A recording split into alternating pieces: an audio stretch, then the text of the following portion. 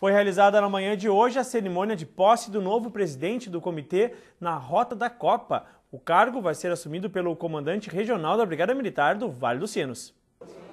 O comandante regional da Brigada Militar, Kleber Senice, foi apresentado hoje como novo presidente do Comitê Novo Hamburgo na Rota da Copa. O cargo era ocupado pelo diretor-geral da Secretaria de Planejamento, Orçamento e Gestão, Gilmar Valadares. As entidades estão confiantes com a nova mudança e com a possibilidade do município de se tornar uma das subsedes da Copa de 2014. Então é muito positivo o trabalho feito pelo, pelo comitê até o presente momento sob a presidência de Gilmar Valadares.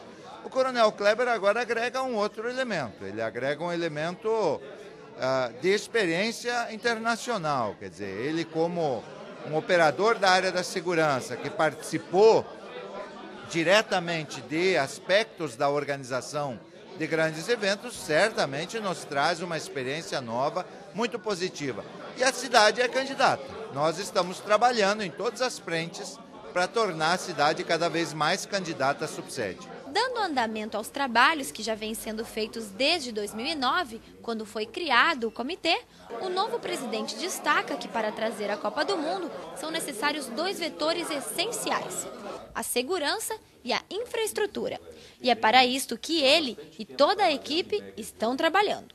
Hoje, nós faltando 1.136 dias, nós não estamos ainda com aquela visibilidade do mega evento, com a visibilidade de uma Copa do Mundo. Então, esse trabalho que está iniciando agora, dando continuidade ao trabalho que já foi desenvolvido no ano anterior, onde foi estruturado um planejamento estratégico, nós acreditamos que com o grupo integrado, onde a sociedade de Novo Hamburgo reunida e com objetivos bem definidos, nós vamos conseguir trazer para Novo Hamburgo esses aspectos de segurança, de conforto e com isso Novo Hamburgo então será vista no mundo todo como uma referência para eventos dessa natureza e mais do que isso, como referência em que nós temos uma cidade que possui as condições para que a sua população viva em segurança e com infraestrutura em condições de fazer as suas atividades do dia a dia.